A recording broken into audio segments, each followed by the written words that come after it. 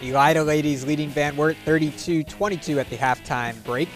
Van Wert, good start to the third quarter. Megan Moonshower, she gets her three-pointer blocked, but sticks with it, drives in, uses the window to connect for two. Now Moonshower distributing inside to Abby Jackson. It's another Lady Cougar bucket. It's a 4-0 run out of the locker room for Van Wert. Shia Wheeler and the Elida Lady Bulldogs respond. Behind the back dribble and drives the lane. Hangs in the air, gets an Elida basket.